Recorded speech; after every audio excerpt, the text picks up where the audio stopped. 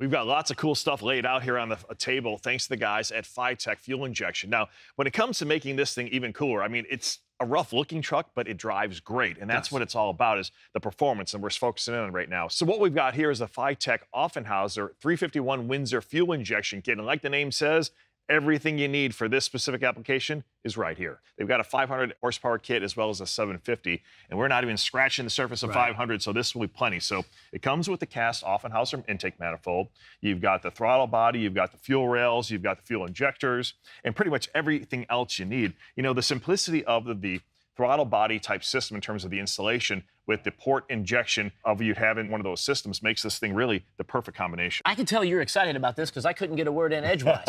but it is cool because he does get really excited about this, you know, and we're going to get that carburetor out of the way and all this, that, the other. But let's talk about this. Let's go back in time to this morning when we were driving this thing, right? And you mentioned sleeper, I think, in the intro, and we were saying how good it drives, and it's going to be a lot of fun because, you know, basically everything on this truck, except maybe 98% of the body's pretty good, right? So what's going to happen is once this system is in place, dude, we're going to pull up to the line, and some kid's going to pull up next to us, you know, with the stereo playing really loud, and he's like, "Hey, old man," and then boom, we're You gonna get that a lot, kid. old man, don't you? No, not really. I was more. he it was more of a yeah. scenario for you. I was trying to be relatable. Okay, I got you. All right, you want me to get the stuff out of the way? Yeah, get the stuff out of the way because we got a lot of stuff to put in here.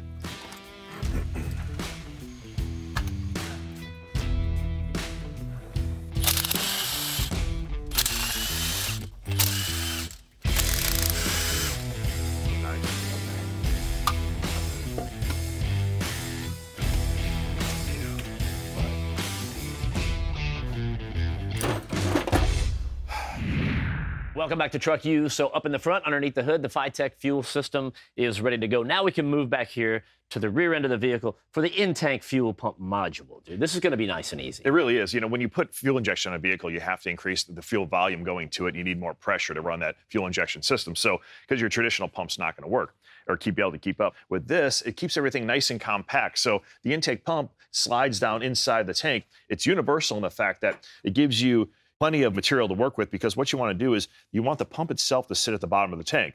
And depending on what tank you've got being universal, you'll cut this down to this goes to the bottom and the pump sits right there. All you have to do is get a hole saw and cut the hole in the top of the tank for this go down to go down into. And the other thing too, it doesn't require a fuel regulator. It's an in-tank regulator, so that's one less thing you have to have, and you'll have the right fuel flow and one less line because you don't need a return.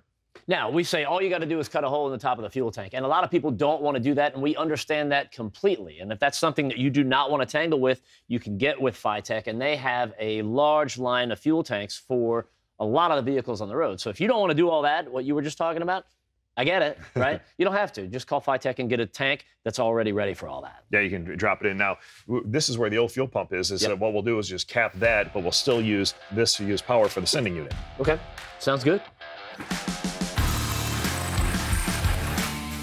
Seven and a half. That's what we got here. It's there actually. So we'll end up cutting at this mark here.